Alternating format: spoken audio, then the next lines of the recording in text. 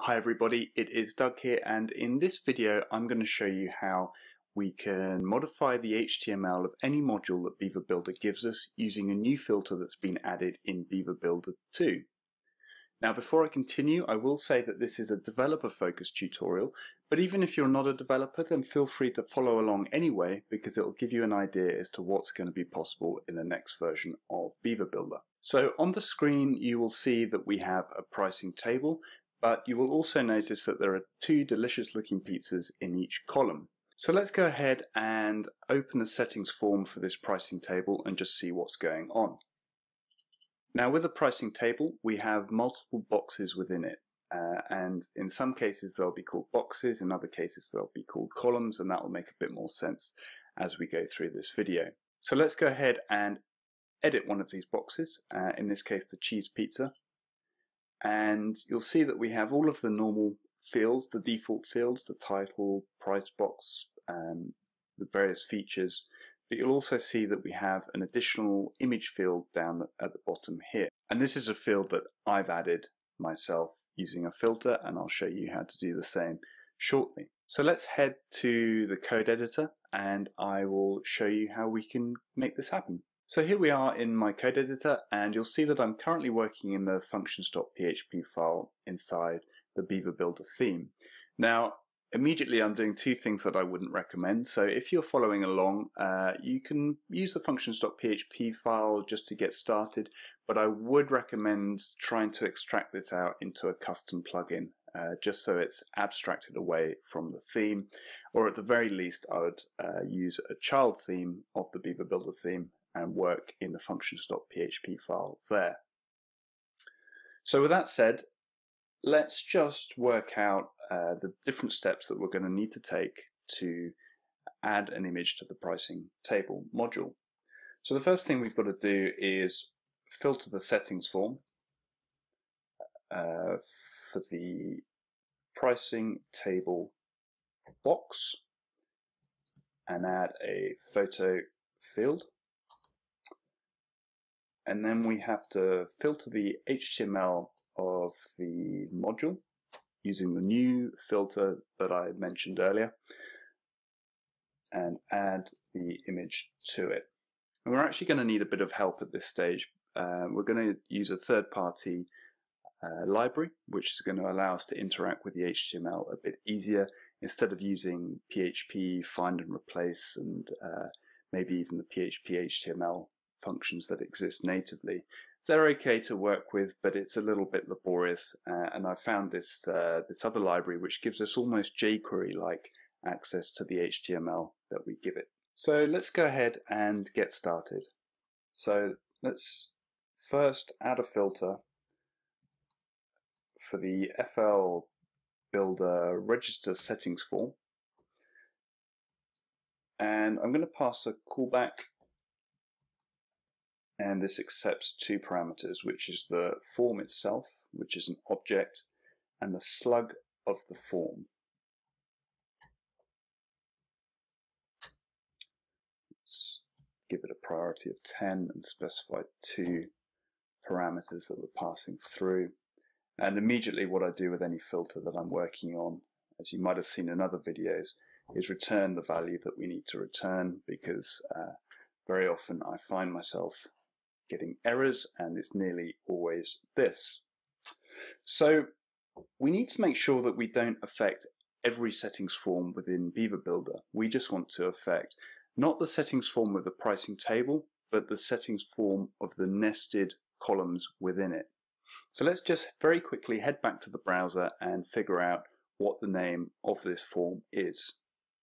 I'm just going to click on the pricing table and I'm going to right click and inspect this hyperlink here for edit pricing box and you'll see in the inspector that we have data hyphen type. This is uh, going to give us the name or the slug of the form that we need. In this case it's pricing column form. So I'm just going to copy that and head back to the code editor and use this value. So now we know the value of the slug of the nested form that we need to target. Let's start by saying if pricing column form, which I copied from the inspector, the browser inspector just a moment ago, is equal to the form slug that we're passing, or that we're getting rather from this uh, from this filter. Uh, so if the pricing column form matches that slug, then we can go ahead and do what we need to do in here. So what I'm going to do, uh, as you saw in the example earlier, I just added an image to another section within the settings form, but it was within the general tab. And if you're familiar with how settings forms are constructed, we have uh, fields within sections within tabs. So we just need to drill down and add a new section and a field within that section at the bottom of the general tab. So let's go ahead and go into tabs general sections. And this is going to be our new section, which we'll call image. And this section needs a title. And you can call this whatever you like. I'm just going to be uh, pretty generic and call it image. And of course, we need a field.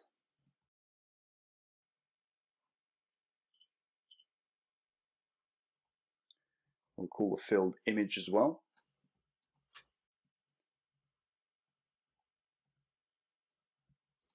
And it will be a photo field.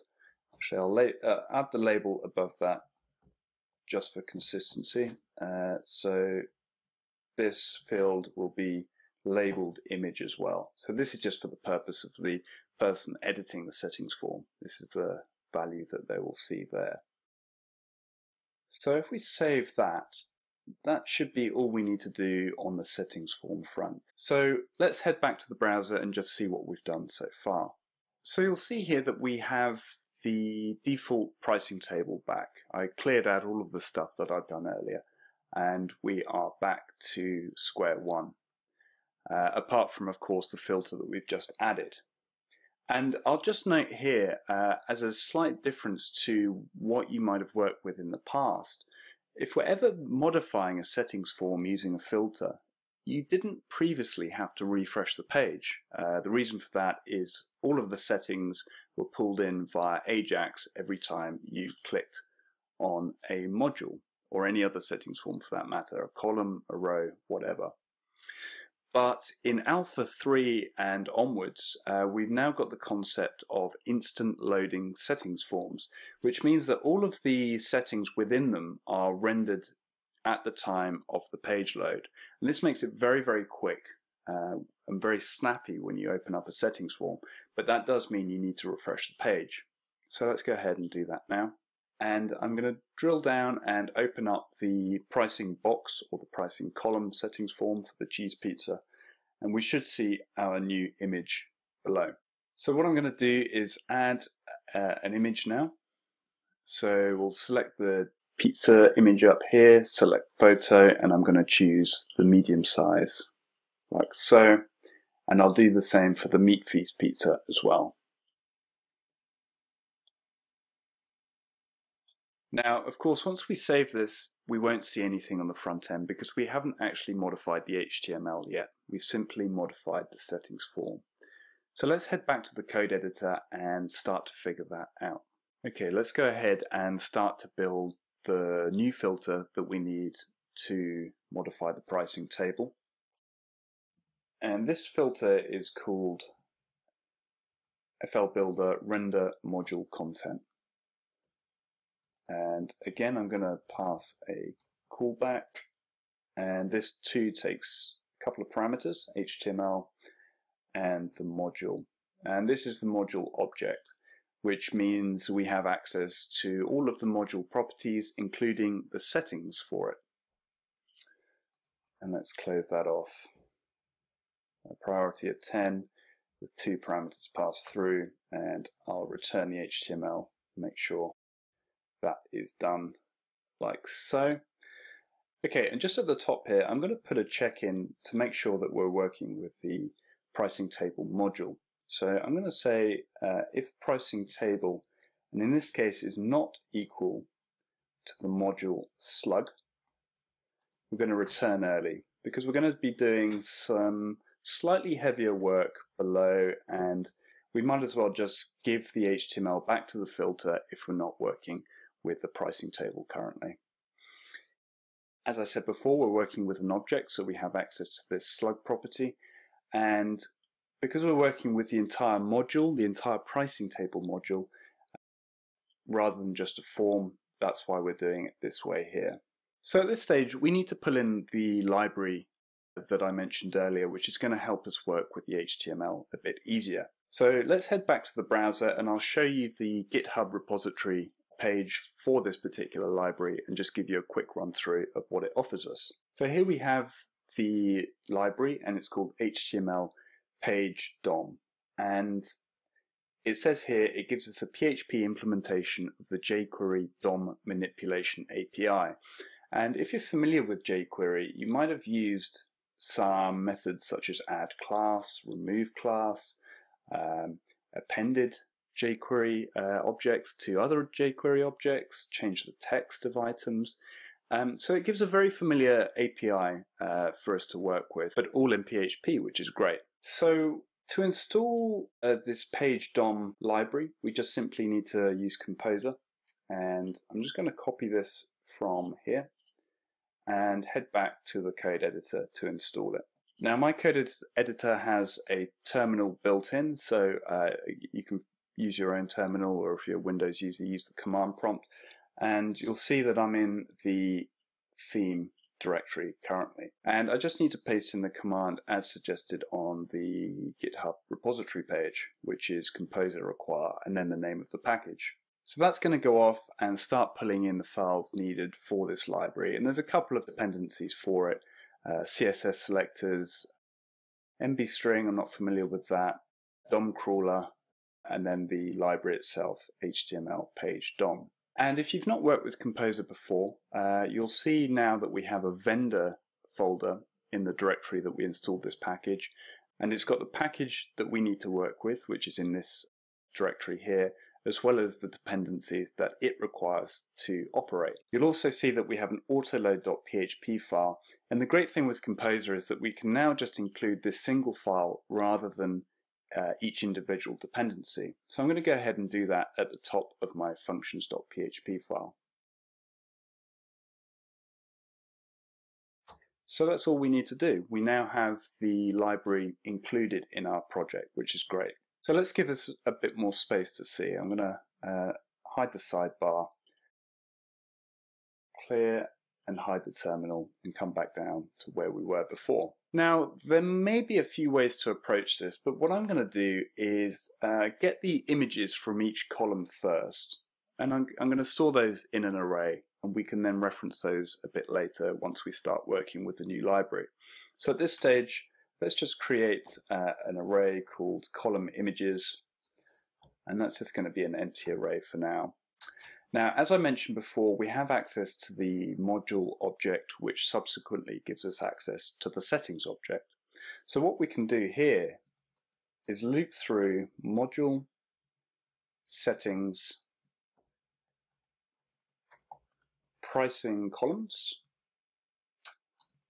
as column. And so this is going to give us uh, the settings object for each individual column. If you recall from before, we created a new field called image. And the way Beaver Builder works with image fields, or photo fields as they're called, Beaver Builder will give us access to a property in the object, which is the name of the field, image, underscore src. So by adding an image to the column, we can now check for that by doing, we'll do a if is set for now. There's perhaps some better checks that you can do, but that's uh, perhaps up to you and, and your coding style. So if we say if column image src is set, we're going to add the source of that image to the array that we created earlier, column images. So to append, we just use the square brackets and say column image src. So this is going to loop through all of the columns in the pricing table. And this means that if you add more columns in the future, this is still going to handle that. And it's just going to store each one in a array in column images. So in our case, we have two columns and we have an image set in each. But I guess we've also got to account for if someone only adds an image to maybe one of the columns, or if there's three columns, perhaps there's only an image in two of them. And what I'm actually going to do here to try and get around that is start an index in the for each loop and then pass that index key value in there.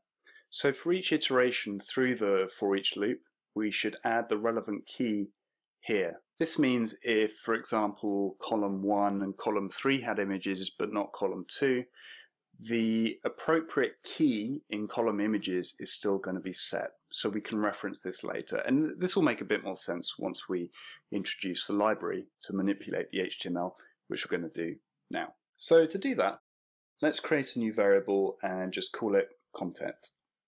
And this is going to be a new instance of the library that we pulled in. And this is under the namespace WA72 HTML page DOM, and then it's the HTML page crawler, which we then pass the HTML into. And this HTML is the HTML that the filter is giving us access to. So this is the module HTML. And by passing it through to the HTML page crawler, it's going to give us access to all of the methods that we saw on the GitHub repository. So one of the methods that it gave us access to was filter. And this is going to look through the HTML that the page crawler has access to and find the HTML elements matching the criteria that we give it. So in this case, I want to find all of the columns in the module. So let's just hop back to the browser uh, for a second and we'll find out what we need to look for. Okay, so here we are back with the pricing table module and I'm just going to inspect the element here and see what we're looking for.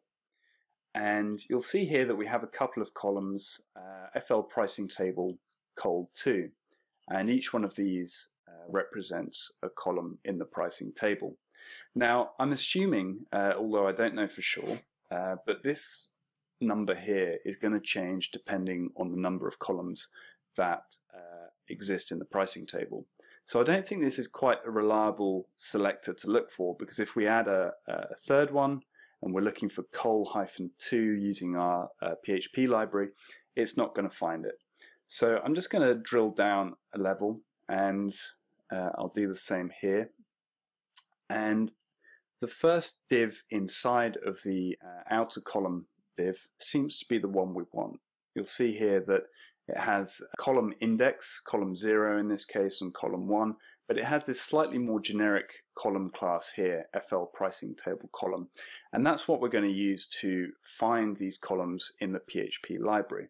So I'm just going to copy that from the inspector, we'll head back to the code editor and start working with this. Okay, so let's create a new variable and we'll call this columns and this is going to be equal to content filter and the class or the selector which is a class of FL pricing table column. And that's all we have to do. So that's going to look through the HTML that the module has given us and find the HTML items that have this class name. And because there are two of them in our case we have two columns.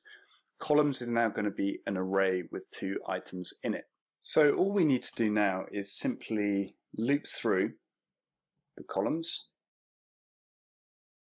and each column that we have access to here is going to be an HTML element as we found in the HTML. Now interestingly with the page crawler library although we've created a new instance of it up here on the entire HTML for the module we actually need to do it again for each individual column, just so we can work with that. So I'm going to reassign this variable column to a new instance of the page crawler, like so, and then pass in the column. So just to reiterate what we've got here, we have the HTML which has been passed into a, a HTML page crawler instance and saved to the content variable.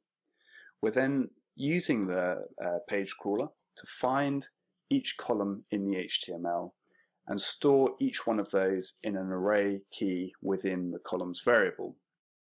We're then looping through each array key or each column and we are passing that or setting that as the variable column, but we then need to repass that through the page crawler.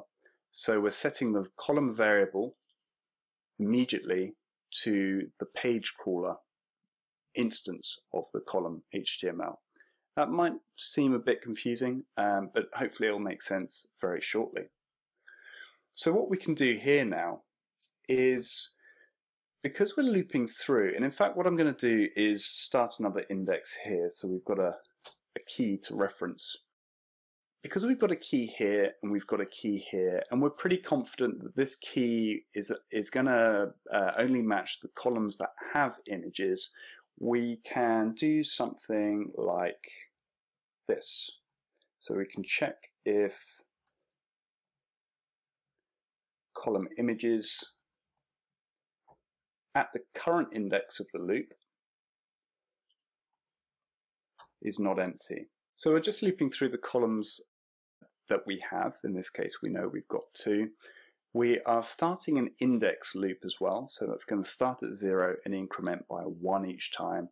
And we can then use that key or that index to check the column images that we stored before. In fact, what I might do is just make sure it's set as well because we might get an issue otherwise. So column images and then again pass in the key. We're then checking if the column images array has a value at that key and it's not empty. And then what we can do here, again because we've got access to a page crawler instance of the HTML for this individual column, we can go ahead and say column filter and let's hop back to the browser and figure out where we want to put this image. Okay, so let's inspect the element and before I had the image just here, so let's figure out what HTML we have that we can either place the image after or before. You'll see that we have an H2 here, which is inside the wrap. We don't want the wrap. We have the H2 and we have the table price. So what we could do is either add the image after the page title or before the table price, whichever. So in my case, uh, because there's only one H2 per column, I decided to add that after. So let's go ahead and do that now. Okay, so back to the filter, we know that we want to find all of the H2s in the column, of which we know there's only a single one, and say after, and quite simply, we now just type HTML as a string, And in here, we can pass in the value from column images at the current loop index of the column images array, like so. And finally, to save this HTML and commit it to the original content variable that we created earlier, we just need to run the save HTML method like so. And we need to now return this modified content back to the filter. And you'll see that previously we said HTML because that matches the value that the filter is giving us. Um, but what we can simply do here is just change that to content because that's going to be the modified uh, HTML as per our stuff that we've done up here. And that's pretty much it. So let's just run through from the top what we've done. We've added a filter for the settings form, not for the pricing table, but for the nested column forms inside it. We've added a new section called image to the general tab, and we've added a field called image to that section. Next, we have used the render module content filter and we've made sure that we are working with the pricing table. If we're not working with the pricing table, uh, we are returning early and just giving the filter the unmodified HTML back. We're creating an empty array for the column images. So we loop through each column, each pricing column, and we're storing the image source, which if you remember is the name of the field, in our case image, underscore src, and we're storing that at the current index key in column images. Next, we are creating a new instance of the HTML page crawler, and we're saving that to the content variable and passing in the module HTML that the filter is giving us. The HTML page crawler gives us access to the filter method, which allows us to find different selectors within the HTML that we give it. In our case, we're looking for all items with a CSS class of FL pricing table column. We are then looping through each column that we have, and again starting an index here, and uh, giving ourselves the variable column. Column is then immediately reassigned using the HTML page crawler instance, and that allows us to then check the column, filter through it, and find the H2 title within the pricing column. Of course, we're checking that the image exists and is set within the column images array at the same loop index as the one we're currently in in the columns. And if it is set and isn't empty, we are then uh, adding this HTML with the source that we stored earlier just after the H2 title. We're then saving that out and we're returning the content back to the filter. So let's go back to the browser and see what we have. So here we are. Let's give that a refresh. Uh, we stored the images earlier. And as you can see, we now have two images. And that's it. We've used a third-party library, which I think is super useful, and combined with the filter that Beaver Builder is giving us, it really opens up a lot of opportunities. We can almost do anything we like with every module that exists in Beaver Builder and perhaps some of the add-on packs as well. So I'd invite you at this stage to just start looking at the modules that you commonly use and seeing what you might think is missing from them and then just seeing if you can maybe add the HTML or the content that you need to fit your needs. So just start with some basic examples. Um, perhaps you want to add some text to a button, or you might want to add a special effect to the photo module, and gradually get a bit more ambitious. I mean, with the pricing table, for example, we could start to think about adding an individual icon for each feature that exists in there. Uh, I don't know entirely how possible that is, but it's certainly something to try. And the more you try these things out, the more you know the boundaries of Beaver Builder. So any questions, let me know in the comments below, and I look forward to seeing what you create.